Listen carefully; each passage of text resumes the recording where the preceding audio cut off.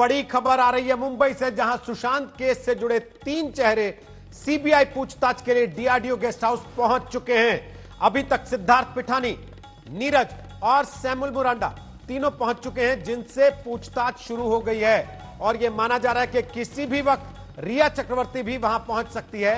और रिबिया सीबीआई रिया चक्रवर्ती से पूछताछ का राउंड टू शुरू करेगी। कल 10 घंटे तक रिया से पूछताछ हुई थी।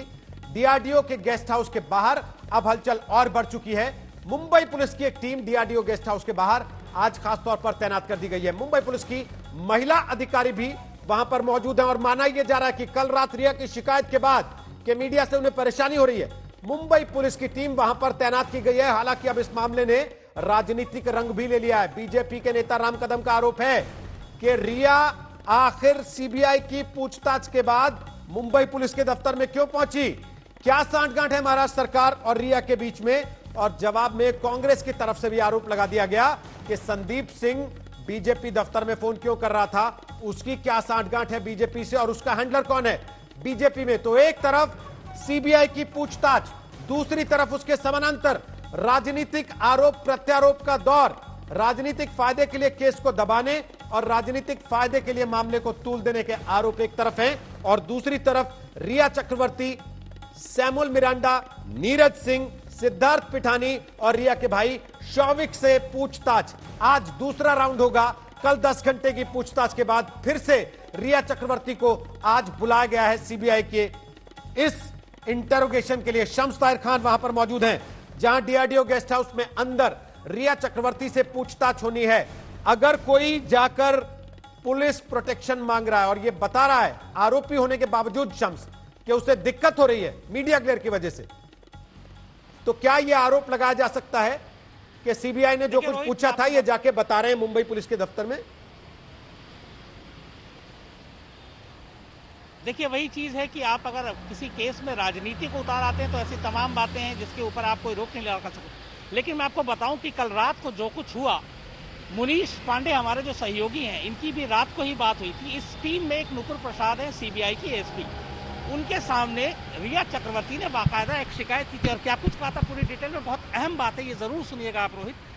कल जब रिया चक्रवर्ती ने एक चीज़ कही थी कि मेरा हरासमेंट हो रहा है, उसके बाद बाकी सारी चीज़ें उसके बाद क्या हुआ, जो सारी बातें थी। जी, देखिए रिया चक्रवर्ती ने बोला कि हैरेसमेंट हो रहा है, उसके बाद में जो सूत्र बता रहे हैं कि एक अधिकारी ने बताया कि अगर हमें हैरेस करना रहता तो हम आपको पटना बुला सकते थे। लेकिन हमें पता है कि वहाँ पर आप सुरक्षित नहीं रहेंगे और इसी वजह से हम यहाँ पर आपसे पूछताछ कर रहे हैं। और जो जानकारी मिल रही है कि थोड़ी देर में वो यहाँ पर पूछताछ के लिए आ जाएँगी। वो वेट कर रही हैं कि पुलिस बंदोबस्त हो जाए, क्योंकि कल जब वो घर से निकली थी तो मीडिया के ऊपर उन्होंने आरोप लगाया था कि बहुत ज़्यादा मीडिया थी, उनके परिवार को दिक्कत हो रही है और कहीं ना कहीं उन्हें दिक्कत रहता है कि जब लगातार मीडिया वाले उनके घर में घुसने की कोशिश कर रहे हैं फॉलोअप कर रहे हैं तो एक एक्सीडेंट का भी खतरा रहता है इसी वजह से कल उन्होंने शिकायत की और अब थोड़ी देर में यहाँ पर वो आने वाली है। शम सीबीआई ने खुद भी ये पहल ली कि आप रिया चक्रवर्ती को कम से कम प्रोटेक्शन दें। जी बिल्कुल उन्होंने जो एक बड़े अधिकारी हैं यहाँ पर जो जाँच को लीड कर रही हैं उनसे बात की रिया चक्रवर्ती ने और उस बात को जो सीबीआई के अधिकारी हैं उन्होंने डीसीपी जोन एट को बताया कि इनका ये कंसर्न है, आप इनको सिक्योरिटी दीजिए क्योंकि हमें आज पूछताछ करनी है और ये सिक्योरिटी थोड़ी देर में उनको मिल जाएगी और वो सिक्योरिटी के साथ में यहाँ पर आ जाएँगे और शम्स वहाँ पर घर पे दो पुलिस की गाड़ी पहुँच गई है।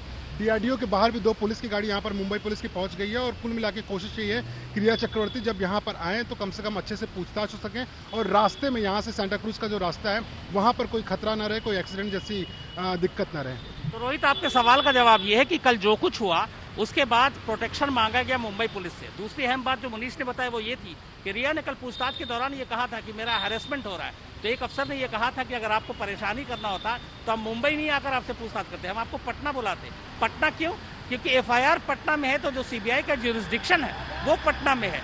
तो इसीलिए उनको बताया गया, लेकिन फिर कहा कि जिस तरीके से मीडिया मुझे हॉन्ट कर रही है, पीछा कर रही है तो सीबीआई के अफसर ने फिर मुंबई पुलिस, जैसा कि मनीष ने बताया, ये कहा कि आप इनको प्रोटेक्शन दें।